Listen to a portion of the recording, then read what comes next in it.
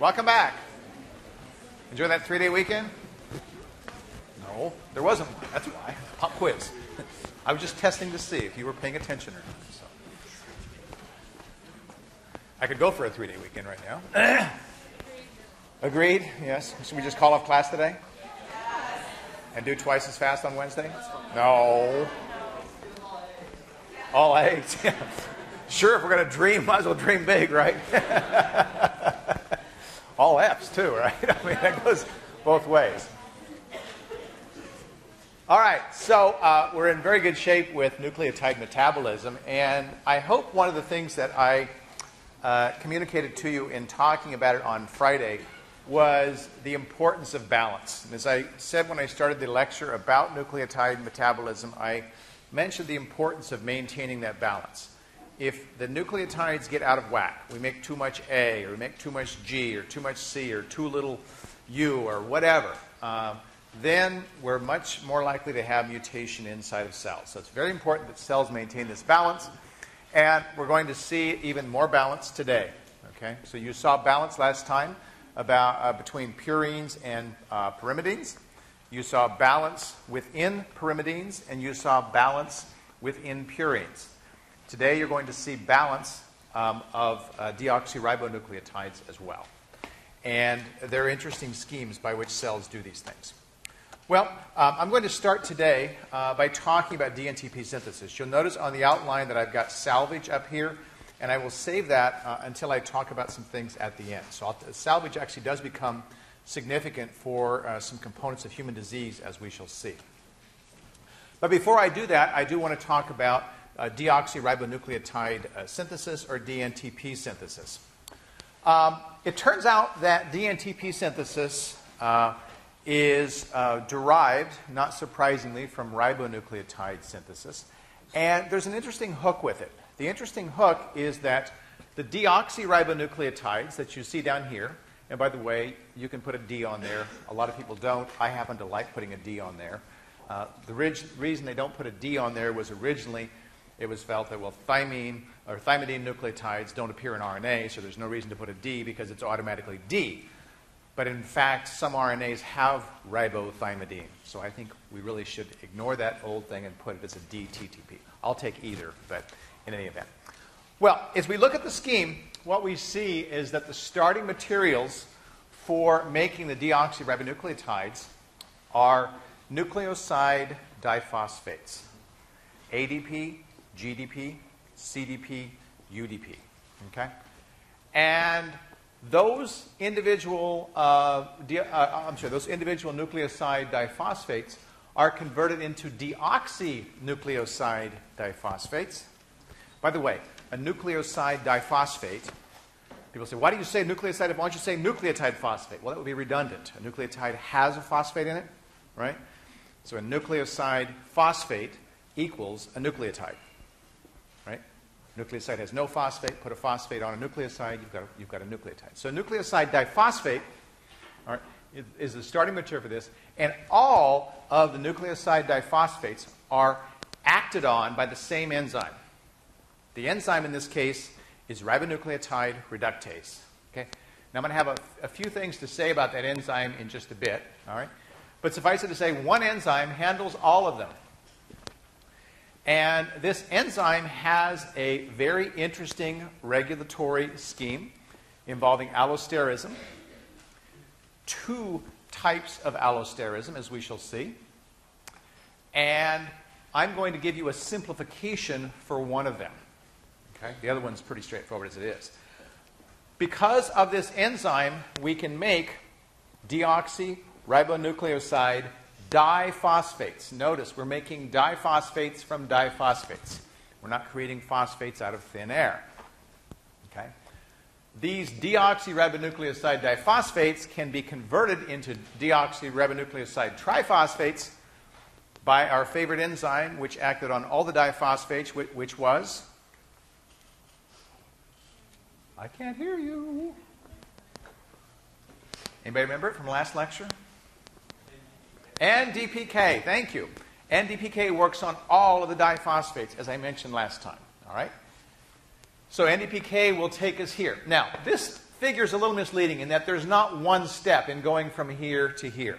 I'm going to talk about this separately, but there's a couple of steps that's necessary to get to this point. And they're kind of interesting and they're kind of odd. Okay? So we'll keep this one, this last one in mind um, for um, upcoming discussion. Well, if we look at ribonucleotide reductase, it's one of the most studied enzymes of all of nucleotide metabolism.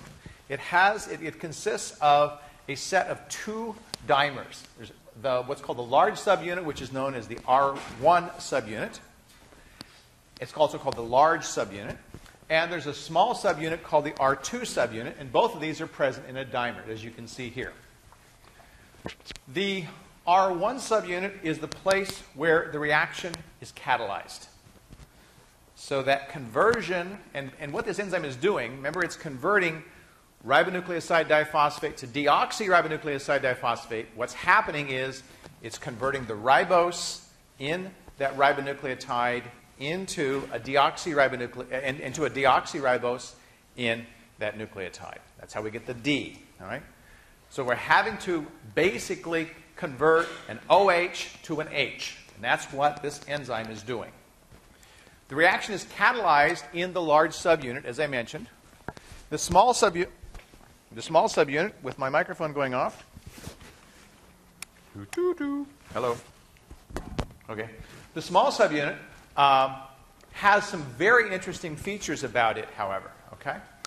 One is that it has within it something called, it has a side chain of tyrosine that ultimately is responsible for making this reaction possible. And I think my thing is giving out on battery.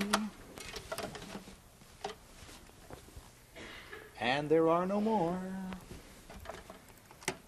Hmm. I shall speak loud. All right. So the side chain, I'm just going to take this thing off and turn it off.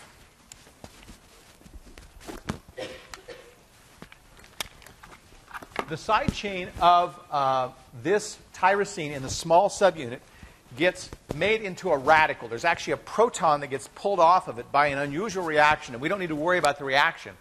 But this causes a, uh, basically an unstable electronic configuration in the side chain of a tyrosine in the small subunit. What's interesting is that electronic instability is communicated all the way back to the large subunit at the active site. Now, if you want to have really good evidence or you're interested in electronic circuits that exist in biomolecules, this is a prime example of an electronic circuit because the instability is created here. It's communicated all the way through the subunit, all the way up through the other subunit into the active site. That's pretty cool. All right? And because of that, the active site catalyzes the reaction. I'm going to show you a mechanism. I'm not going to hold you responsible for a mechanism, but I'll show you that in just a little bit. Okay. Now, yes, sir. Does this enzyme work on two riboses at a time or only one? The, two, the, subunits, as far as I know, will act independently. So they can have two at the same time or one at a time. It really doesn't matter. Okay? Now, another interesting feature. Yes, sir. Um, I think they're 9 volts. Yeah. So let's see. I'll make sure of that. Oh, actually, they're not. No, they're, they're double A's. You have a double A? Oh, look at this. Uh, 12? But two would do. What's that? Get an A for the? I should I give an A for the day? Whoa! Just a second, I'll come get them. they usually have a, an extra pack in there. They don't have an extra pack today. All right, so batteries. Thank you, sir. I will see that you get replacements. Now, we'll see, make sure this works. We'll see. Da da da. Da da da. Hello. All right. People don't like me shouting so much. That's probably why he said, take the batteries. I don't want him spitting all over the first three rows here. I had that happen. I never told you the story before about going to Ashland? and I get to Ashland, and uh, I uh, didn't have any tickets. So I go and I buy tickets. True story. I go and I buy tickets at Ashland, and there's this guy there, and he says, I've got front row seats for you on the outdoor theater. And I said, That's awesome. How much do you want? I figure he's going to scout me, right? I'll let you have them for uh, what I paid for them, which he did. And I thought, Well, that was really great. So I went and sat in the front row and learned very quickly why front row in Ashland really isn't a good place to be because the projecting is, they're spitting all over the first three or four rows. It was just absolutely disgusting. So I think he'd been there the previous night and said, I'm not going to do this again. So you guys know this up here too, so. Or you would if I didn't have these batteries. All right, so the other interesting uh, feature of, this, of the small subunit is it's where the allosteric um, information is communicated. So the regulation happens because of binding of allosteric regulators to the small subunit. So the small subunit is pretty critical in that, even though it doesn't uh, catalyze the enzymatic reaction. Okay? There's a structure, and inside there we can see that there's iron that is uh, uh, attached to side chains of amino acids, not too far away from a tyrosine. And I mentioned that this tyrosine gets a proton pulled away from it, creating an unpaired electron and an un- unstable state. The reaction mechanism is there. I'm not going to go through it with you, and I'm not going to hold you responsible for it, so you can just look at it and admire it. But you can see in this active site that what's happening here is the nucleoside diphosphate that's being uh, held in place. You see that sulfhydryls are playing roles. You see a carboxyl playing a role. And the upshot of this is that a, this uh, unstable intermediate that uh, was created in the, um, in the uh, tyrosine in the small subunit is communicated up to here. You see here is this unpaired electron that is in place because of that instability that was created in the small subunit. This uh, starts a series of uh, reactions and process that ultimately result in the production of a uh, hydrogen at this point where we had an OH to start with. So we've created a deoxyribose, and as a consequence, we've created a ribo, uh, I'm sorry, a deoxyribonucleoside diphosphate. The other thing that you notice here is we started with SHs and we ended up with a disulfide bond.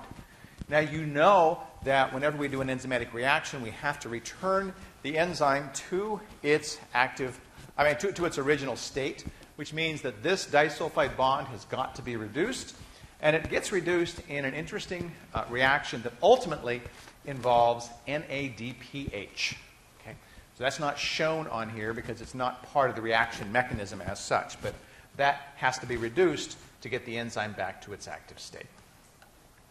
Okay, um, this shows what happens with that NADPH. And again, I'm not holding you responsible for this, but you can see that there's a lot of transfer of electrons that ultimately have to happen in order for this overall process uh, to occur. Here's that last step where we're taking that disulfide bond and we are uh, ultimately bringing it back up here to the uh, sulfhydryl state. Okay? We see that this molecule known as thioredoxin plays a role in this process, and that is something I think that you should know. Thioredoxin is a very interesting uh, small peptide that plays very important roles in redox reactions inside of cells redox, reduction, oxidation reactions inside of cells. Thioredoxin uh, is a source of electrons to reduce this, and thioredoxin gets its electrons from thioredoxin reductase, which gets its electrons from NADPH. So we can see that this process happens ultimately to get those electrons to the enzyme and regenerate the enzyme to the, to the original state, and then that original state is used to convert ribose into deoxyribose within a nucleoside diphosphate. That big mouthful of, of words there. All right, well, let's get back to things that you really are uh, responsible for here, and this includes the synthesis of thymidine. Now, as I said, thymidine has an interesting pathway to becoming thymidine. It's made from DUD, I'm sorry, it's made from UDP. So you saw on that scheme that I gave you that ribonucleotide reductase converted UDP into DUDP. Okay? Well, it might seem like the logical thing for the cell to do would be to simply take DUDP and convert it into DTDP, right? Well, it turns out cells don't do that. And at first, it's going to seem very odd why they don't do that. Instead of simply converting DUDP to DTDP, cells convert DUDP into DUMP. It takes a phosphate off and it takes a dump. Haha. It makes a dump. Right? Well, why does it do that? Why does it do that? It turns out that there's a very important reason why it does it. If you recall, our friend nucleo, uh, NDPK does what? It converts diphosphates into triphosphates. If we have much DUDP sitting around, what happens is NDPK will convert it into DUTP. And DUTP can be put into DNA by DNA polymerase. That's not a good long term thing for cells to do. It happens at a very low frequency, actually. But to reduce the likelihood that cells will have that reaction going on, they have this enzyme that converts DUDP. Okay? And I'm saying this, you know, I'm saying this backwards, actually. As I'm saying it, I'm realizing I'm, I'm telling you an, an incorrect story. Oh, no. Ahern. All right. So I said it takes it from DUDP down to DUMP. It doesn't. It goes DUDP up to DUTP, and then it cleaves that. Now, the consequence of that is that cells will get a little bit of U in their DNA. A little bit of U's in their DNA. The enzyme that converts DUTP into DUMP is known as DUTPase. It's a very important enzyme in cells. Because if DUTPase, DUTPase is not active, then you're going to get much more U inside of your DNAs.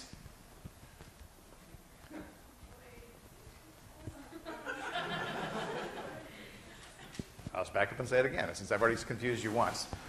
All right, so let's just wipe the slate clean and we'll just start over. How's that? Okay? All right, we've got DUDP, right? The cells make DUDP.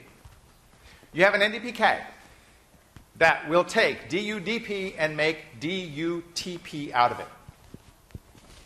That's given because NDPK will work on all diphosphates, making them into triphosphates. It grabs DUDP, it makes DUTP. If DUTP hangs around for any period of time, DNA polymerase will use it in place of T because it looks just like a T as far as the DNA polymerase is concerned. All right? Remember the U pairs with A in RNA, so too will U pair with A in DNA if it's allowed to. Cells don't want that to happen, so they have an enzyme called DUTPase that they cleave DUTP into DUMP. They clip two phosphates off. DUTPase does that. If DUTPase is absent or not very active, cells will therefore get much more U into their DNA in place of T. Yes, sir. What type of negative effects will come with that? Chemically, U is not stable over as long of a period of time as, as T is. U can deaminate readily and make C. Problems. That's why we don't have U uh, to any extent, significant extent in our DNA. Yes, sir. The DUTPase, does it clip off a pyrophosphate or two individual phosphates? The DUTPase clips off a pyrophosphate. It clips off two phosphates with one, one fell swoop, one cut. All right. Why am I showing you this on the screen? What's that got to do with this? Well, I had to tell you that because your book doesn't have a figure for that to tell you how we get DUMP. So DUMP has to be converted into DTMP. That's the next step. And yes, I will review this, this whole process as I get through it. All right. DUMP gains a methyl group from this monstrosity here. And we're going to call this THF, tetrahydrofolate. There are several tetrahydrofolates. I don't think we need to distinguish them. We're going to call this THF, tetrahydrofolate. Tetrahydrofolate is a source of the methyl group. The methyl comes and gets put right here on the U, and that makes it into a T. And again, this should be a DTMP.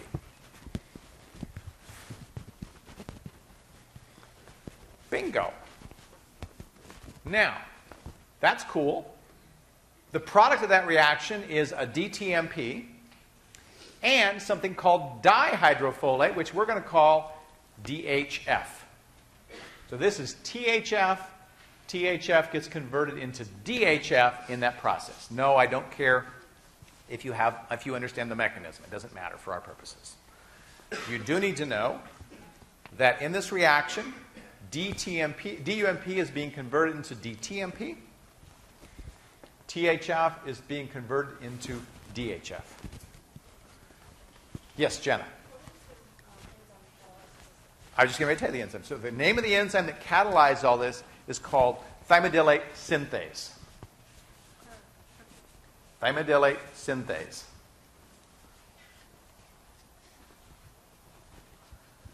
Okay. Well, if we have DTMP, how do we convert it into DTDP? We have a monophosphate kinase that does that, right? We have a monophosphate kinase that converts it into DTDP. And how do we convert DTDP into DTTP? I said it right. What's the enzyme that converts diphosphates into triphosphates? NDPK. There we go. All right. So finally, we've got all four deoxyribonucleotides. Now, I said I would summarize, and I will.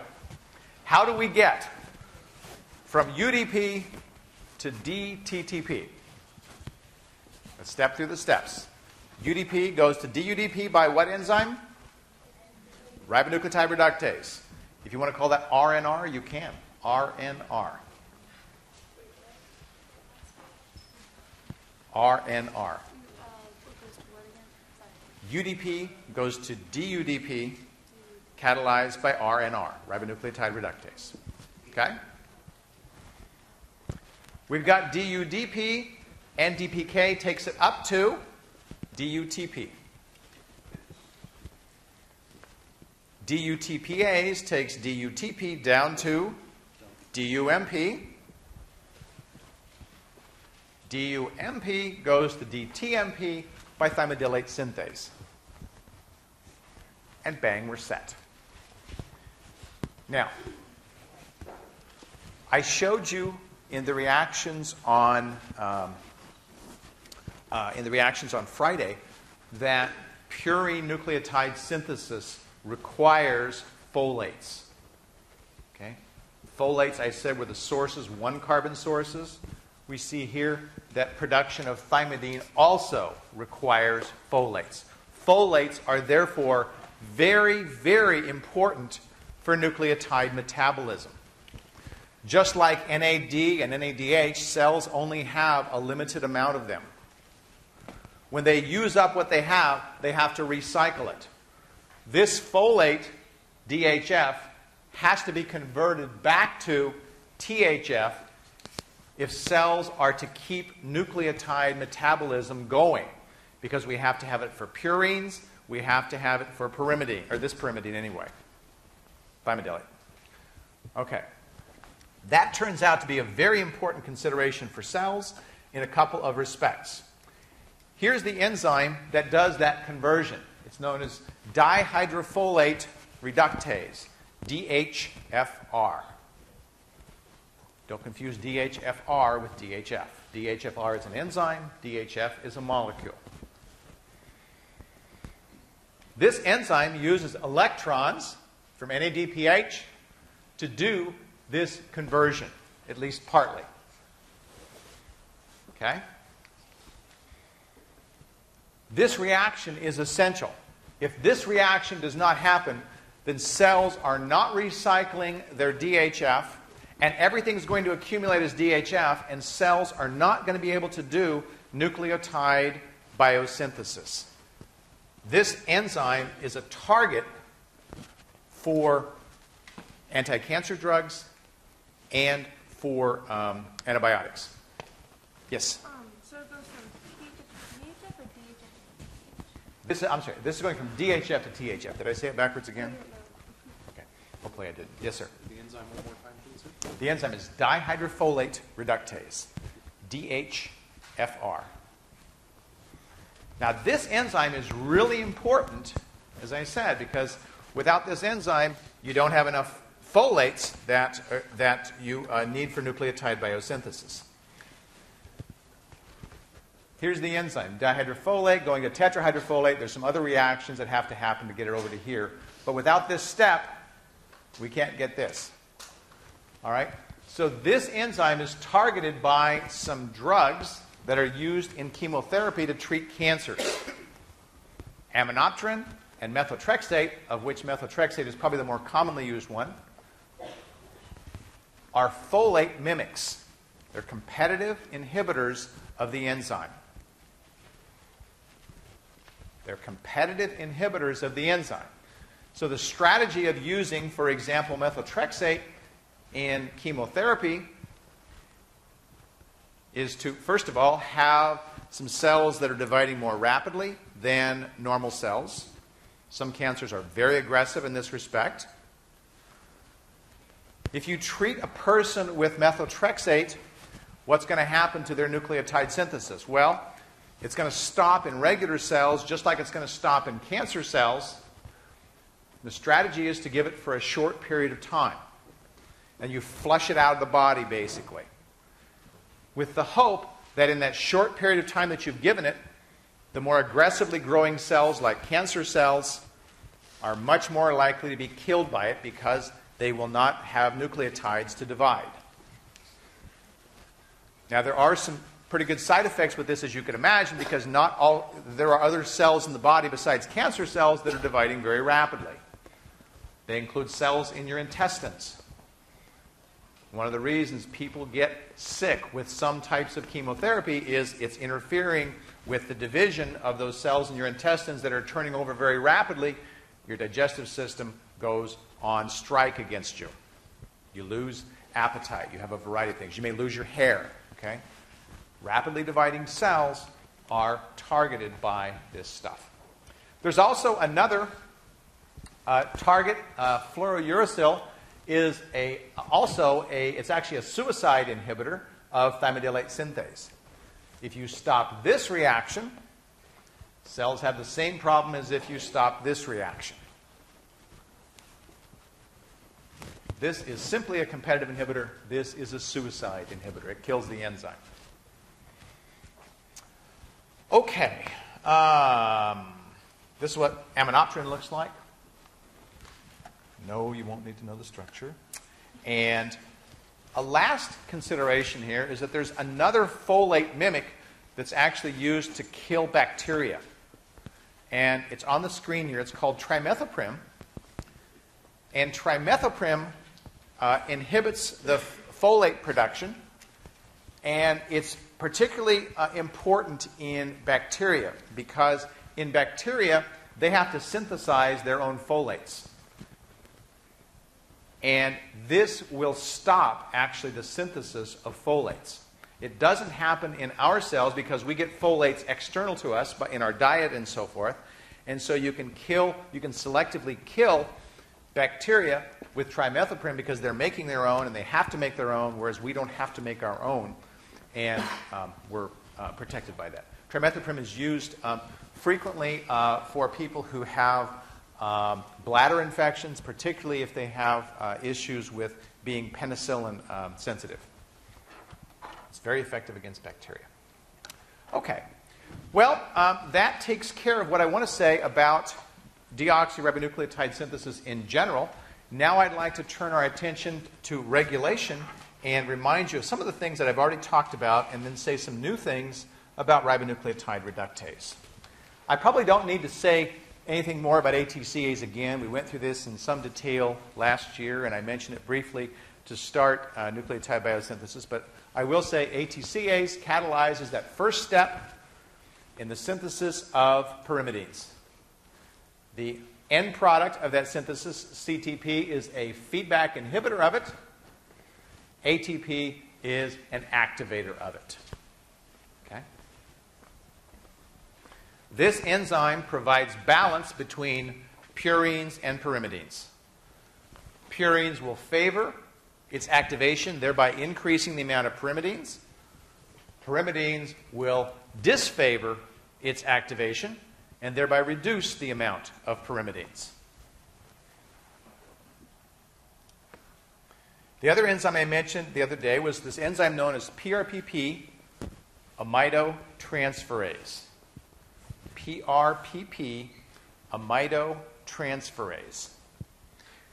It catalyzes the reaction that, uh, in fact, this is, I think, not accurate, indicating that it inhibits here. The primary inhi- inhibition is right here, the making of the phosphoribosylamine. I'll take, again, if the book has that, I'll take either answer, but basically the reaction right here is the critical one. And this is where PRPP amidotransferase works. All right? PRPP amidotransferase is inhibited by the end products of purine biosynthesis. These include AMP, GMP, and the branch point molecule IMP as well. Okay? So it's a feedback inhibition that's turning off this enzyme. And this was the enzyme that had the very interesting property that AMP and GMP together will completely inhibit the enzyme. AMP alone will not completely inhibit the enzyme. The enzyme will be a little bit active. GMP alone will allow the enzyme to be a little bit active. Why is that important? Well, it turns out to be very important. Imagine my balance of AMP and GMP is such that everything I have is in the form of GMP.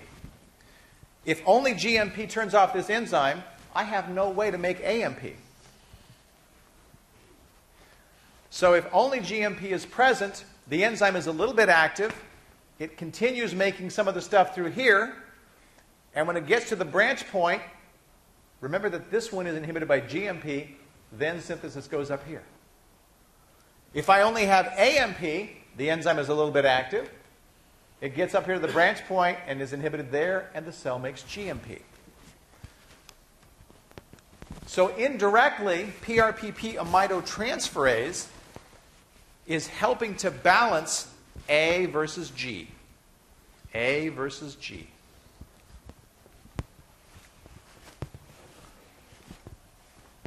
Okay.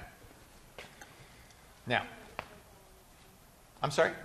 Oh, the little ball is bouncing? Okay. Goodbye, ball. All right. Now, the last enzyme that I want to talk about, actually, before I do that, let me mention one other enzyme I mentioned as a regulatory capacity. It's not shown on here, and that was CTP synthase. CTP synthase was inhibited by CTP.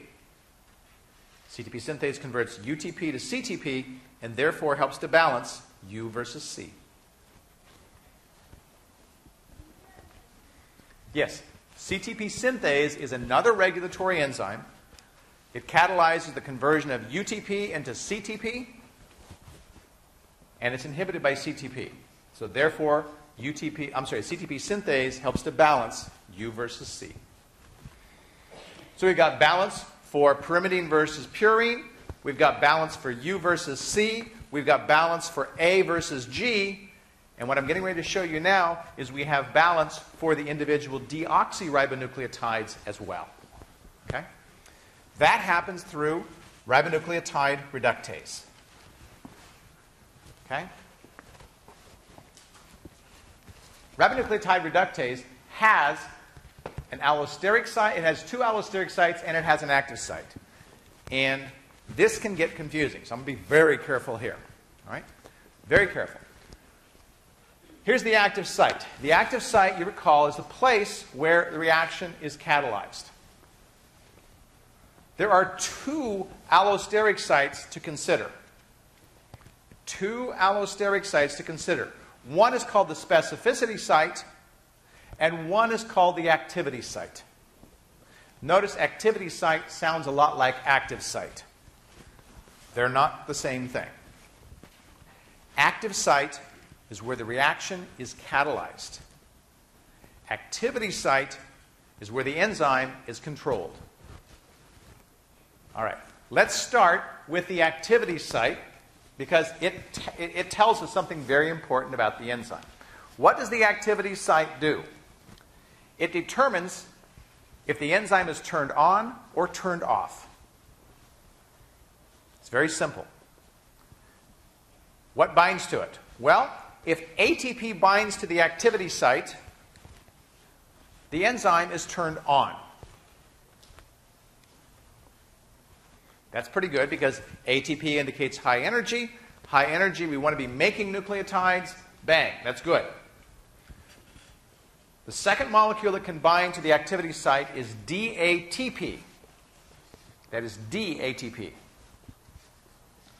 DATP will turn the enzyme off. And DATP is an indication of how many deoxyribonucleotides a cell has. Too many deoxyribonucleotides, enzyme off. Abundance of energy, enzyme on. Okay, so we have an enzyme on or off. That's pretty cool.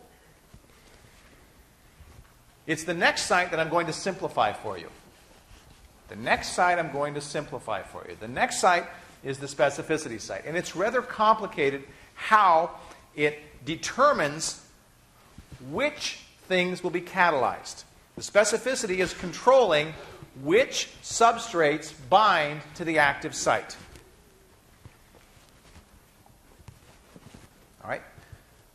Now, let's imagine the following. Let's imagine I have an abundance of purines in my body. I'm short on pyrimidines, deoxypyrimidines. All right? How might I control this enzyme? Well, if I had an abundance of purines, I know I need to make more pyrimidines. So if I had some way of measuring purines, I could turn the enzyme on for pyrimidines only. And that's what the specificity site does. Now, the specificity site will bind to triphosphates. The active site will bind to diphosphates. How does this work? Let's say I've got a ton of, of uh, DGTP in my cell. If I have a ton of DGTP, I sure as the heck don't want to be converting GDP into more DGDP because I've already got too much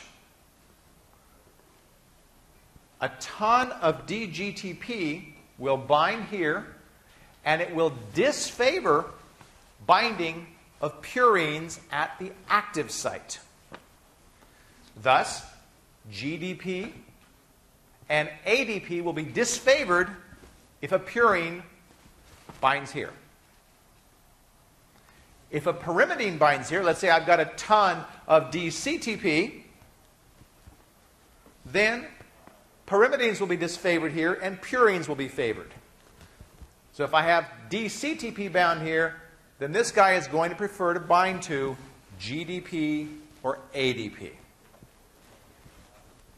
Now, I know there's a lot of things here. There's triphosphates, there's diphosphates, there's ribonucleotides, there's deoxyribonucleotides, and all the words I'm going to throw at you with this are just going to be mush after a while.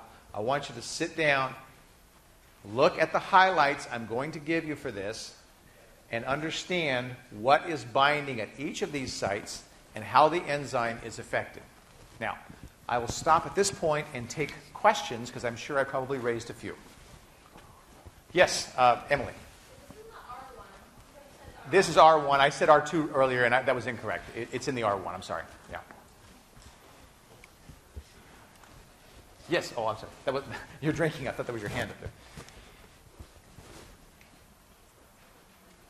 Oh, yes, uh, Connie. Yes, the anti-cancer drug, competitive one. How exactly does um, adding the inhibitor and then flushing it out kill the cancer cell? How does adding the inhibitor for, uh, uh, let's say, methotrexate, how does adding methotrexate and then flushing it out kill the cancer cell? Well, during the period of time that the methotrexate is there in abundance, DNA, uh, I'm sorry, uh, nucleotide synthesis is going to be stopped. So if cells are needing to divide and they run out of nucleotides, they die. So the idea is that cancer cells are dividing more rapidly than regular cells. So they're more susceptible during that period of time when I've got them, uh, when I have the drug present. I flush it out so that I don't end up killing the organism, uh, the, the person taking the, the um, anti cancer drug. Uh, but preferentially, I hopefully kill more cancer cells than I kill anti cancer, or, or non cancer cells, not anti cancer cells. Okay? Okay. Any other questions on this? Okay. I will summarize these in the highlights. Please uh, look at that, if you have questions, let me know. Well, in the last 10 minutes, uh, what I want to do is talk about uh, some of the byproducts of nucleotide metabolism and their impact on human health. Okay? Their impact on human health. The first of these that I'll talk about is a very interesting disease known as severe combined immune deficiency. This is a disease where it's a genetic disease where a person, uh, there's a couple of causes, but one relative to nucleotide metabolism is lack of the enzyme adenosine deaminase. Now, first of all, let me tell you what the disease is. So it, it, it's a complete failure of the immune system. If you've heard the bubble boy story of, a, of, of, quite a few years ago, this was a kid who was born without an immune system. They recognized it very quickly, and they put him in a sterile bubble where he lived most of his life before he finally died. He lived most of his life in this sterile bubble because even the simplest bacterium that, is, that you and I would have you know, ourselves coated with would kill him. Okay? Immune system completely lacking. The question is, how and why is his immune system lacking? All right? Well, what you see here is part of the breakdown of purine nucleotides. Here's AMP. Let's say I'm a cell, I have, I have ingested a nucleic acid, or I've even ingested a bunch of AMP, and I want to break it down to its substituents so that I can use them as necessary. Individuals that are lacking this enzyme right here, adenosine deaminase, are susceptible to developing SCID, severe combined immune deficiency. Okay? Why? Well, it turns out that if this enzyme is deficient, we back up a whole bunch of processes, and what accumulates is DATP. Now, based on what I just told you, you should be able to tell me what the consequences of DATP accumulating would be. What's going to happen to cells when they've got a lot of DATP? They're going to shut down the reductase. They're not going to divide very well. And this problem appears to manifest itself mostly in the immune system, that is, the accumulation of DATP. Other cells aren't as affected by that. But in the immune system, they're very affected by it, and they have no nucleotides to make DNA. To mount an immune response, our immune cells have to divide considerably. They can't. Okay? So, adenosine deaminase, very important enzyme in that respect. Another enzyme that's important was one we saw up here in, in salvage that I haven't talked about, but I'll just show you here. This is an enzyme that's important in recycling some of the purines to be able to use them. So, for example, let's say I have a bunch of guanine, that's a base, laying around, and I need to make nucleotides. So I take that base that's laying around, known as guanine, I combine it with uh, PRPP, and when I do that, I create GMP. All right, so now I'm on my way to making nucleotides. And I've salvaged a base that was sitting around. You'll see that this enzyme is called HGPRT. It also works on hypoxanthine. So, what's hypoxanthine? Well, hypoxanthine is produced right around here. So, it's like a purine. It's basically a purine as well. So, this enzyme is helping to scavenge through salvage purine bases and make purine nucleotides. But why is this important? Individuals that are deficient in this enzyme develop a bizarre uh, syndrome. Okay? The bizarre syndrome is known as Lesch-Nyhan syndrome, and I think I've got it right here. Yeah, Lesch-Nyhan syndrome. Okay, that's it right there.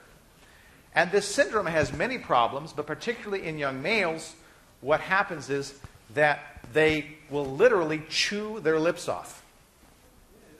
Yeah, yeah. It's a bizarre neuro, uh, neurological um, problem, and they have to be restrained because they will literally, when they have a chance, do that. Okay? Now, this is a relatively minor enzyme, it would appear, um, and the full link of the neurological phenomenon to the deficiency of the enzyme is not completely understood. But suffice it to say, sometimes even what appear to be very minor enzymes can have major uh, effects. Needless to say, retardation and a variety of things happen as a result of the deficiency of this enzyme. So, salvage is important. If salvage doesn't work properly, we can see real problems. The last thing I want to say relative to nucleotide metabolism is something also that's interesting from a perspective of human health. And to show you that, I need to go back to my purine breakdown pathway. Okay? So here's the one I showed you earlier. Purines are being broken down, AMP to adenosine, blah, blah, blah, blah.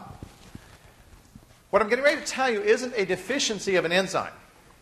It's a sufficiency of something else, meaning we have too much. Okay? If we have too many purines,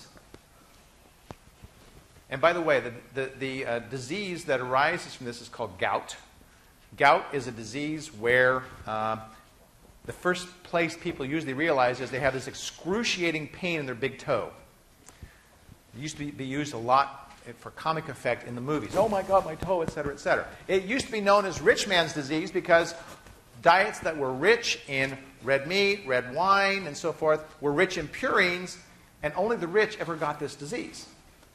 They got it because they had too many purines, and when they had too many purines, this breakdown pathway takes over and starts making a lot of uric acid. Well, uric acid is a, is a good and normal thing, okay? It's on the breakdown pathway to um, excretion, uric acid is actually an excretion product for um, birds, for example. It's a way of getting rid of excess nitrogen. We don't get rid of nitrogen that way. We actually get rid of it with urea. But this is a normal breakdown pathway. The problem is that uric acid doesn't ionize very much. It's not a very strong acid. And as a consequence, what will happen is if too much is produced, it will crystallize. And the place where it will crystallize is the gravitationally lowest place in your body, which ends up being in your big toe. And when it crystallizes, it crystallizes in nerve cells, and that's why the excruciating pain arises. Now, there's a downside to gout, but there's also a good side to gout that was realized a few years ago. And it too is not fully understood why, but it's an interesting observation.